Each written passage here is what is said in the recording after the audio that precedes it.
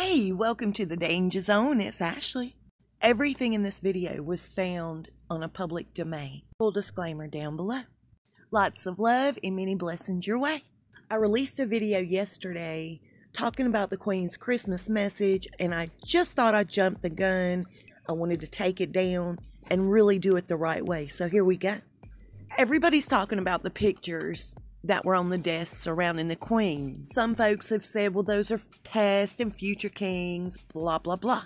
And that could be very well the case. However, if you had the honor, the privilege of having yet another great grandchild, you would take more than the three seconds to flash a picture that has already been proven photoshopped. I felt like her Christmas message was quite encrypted. Typically, over the years, she has really flowed. Everything seemed to make sense. And in my opinion, she was trying to make a point, but getting there seemed a little scattered.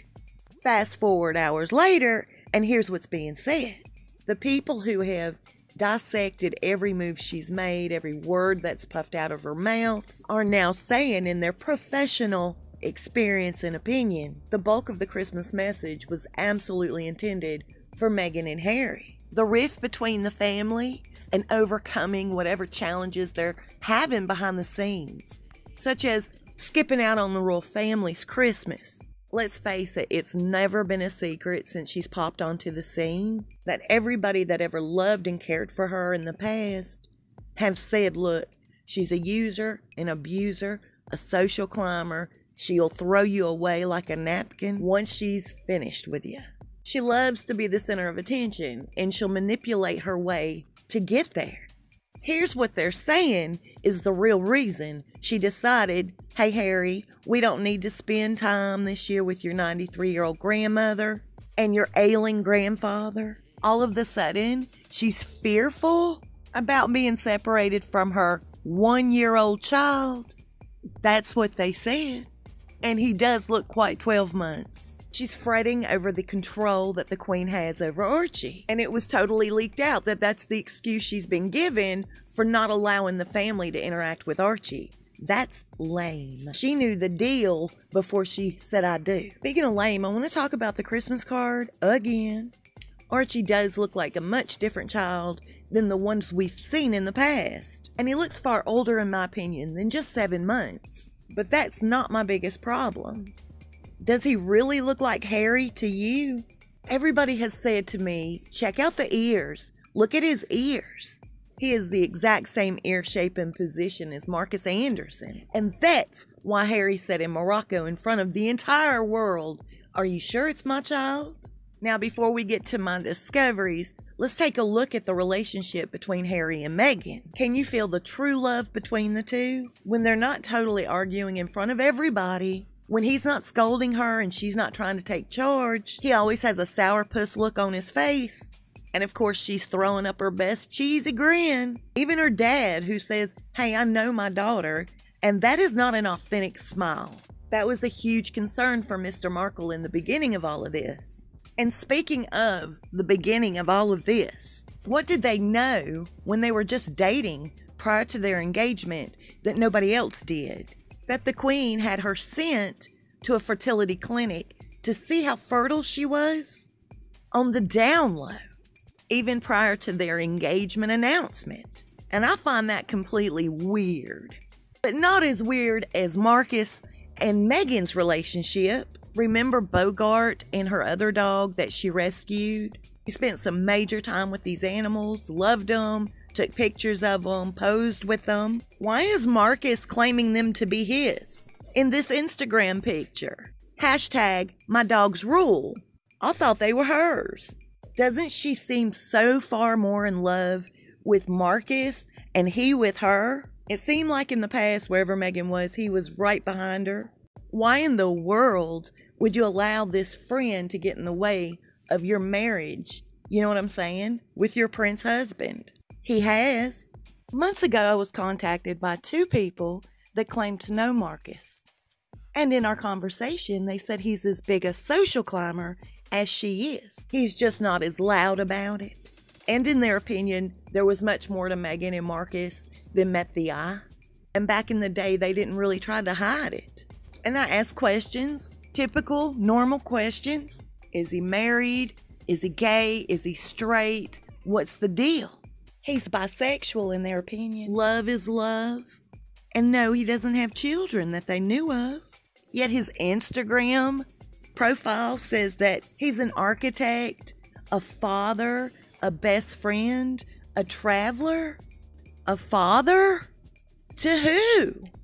The love these two have between them is quite obvious. Missing you, Anderson underscore Markus, XOXO, wrote Meghan. From the beginning, it's like they were just so codependent on each other. She couldn't even drop him for her husband to be. We know that she's been bringing Markus to several galas, events, private affairs held by the royal family where no media, no pictures were allowed.